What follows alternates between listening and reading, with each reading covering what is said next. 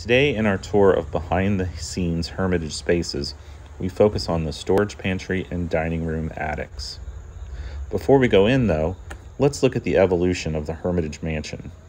Completed in 1821, the Hermitage was a red brick federal style home, very plain, with four rooms over four rooms and a center hallway. In 1831, President Jackson added wings to the house so he'd have more rooms to, to entertain. On the front side of the house, he connected the wings with a Palladian style porch. In 1834, the home was badly damaged by fire.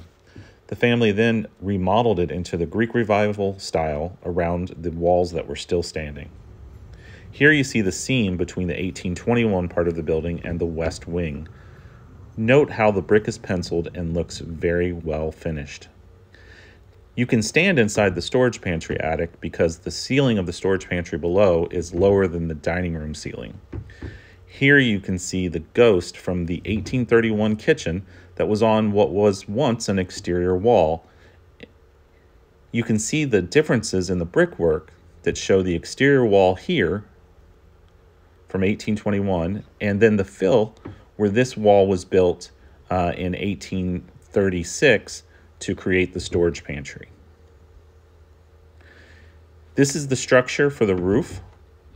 Um, some of that has been replaced and some of the sheathing has been replaced as well. To get into the dining room attic, you actually have to step up using this ladder because, again, the ceiling is higher. Here you see the roof structure for the dining room, and it's been reinforced.